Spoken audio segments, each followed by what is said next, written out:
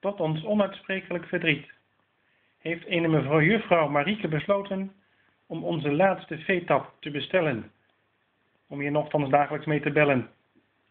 We nemen afscheid van de veetap.